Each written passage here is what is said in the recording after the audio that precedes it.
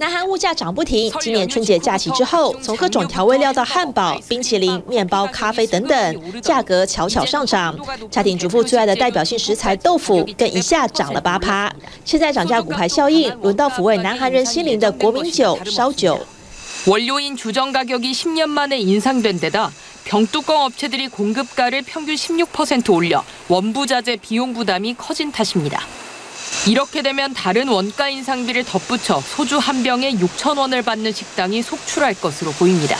其中，南韩酒类大厂海特真露相隔三年，从二月二十三号开始调涨出厂价格百分之七点九，一瓶真露烧酒在超商要卖一千八百韩元，折合约四十块台币。在餐厅点一瓶，原本要价四到五千韩元，现在至少涨一千韩元，折合一瓶一百四十元台币，让南韩民众大喊吃不消。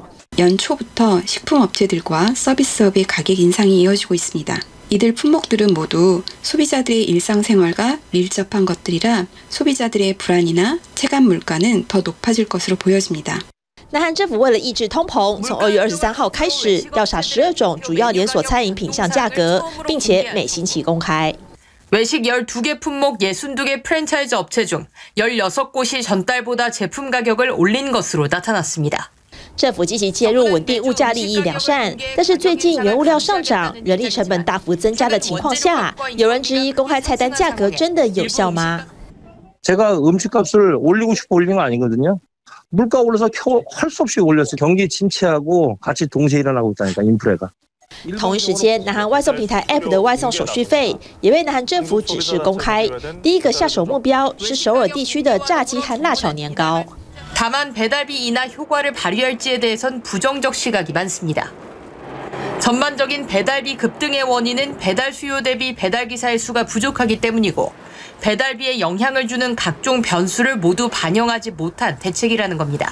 배달 플랫폼이 저희가 이제 배달료를 결정하는 그 구조가 아니고 이 이번 이제 배달료 공개가 어느 정도 효과가 있을지 사실 의문이거든요. 네, 배달료가 시간이나 날씨에 좀 변수가 많은데 이 변동사항을 실시간으로 반영을 못할 것 같다는 의미도 受到大环境影响的涨价都能理解，但如果是厂商搞鬼，可就没办法原谅。南韩公平交易委员会调查，包括乐天食品、海泰治国和宾格瑞等五间食品大企业联合串通设定冰淇淋价格长达四年。 납품 가격뿐만 아니라 근장 소비자 가격 즉 어떤 그 마트나 편의점에 판매하는 가격 자체도 이제 판매 가격 자체도 올리는 그런 식으로 단계적으로 진행됐다고 보시면 될 것 같습니다. 南韩公平交易委员会对这五家公司分别处以两百到四百亿韩元罚款，并下达修正命令，重罚厂商，避免再犯。 TVBS 新闻综合报道，请支持 TVBS 国际 Plus 全新频道，让您扩大视野，掌握趋势，接轨全世界。恳请订阅，开启小铃铛。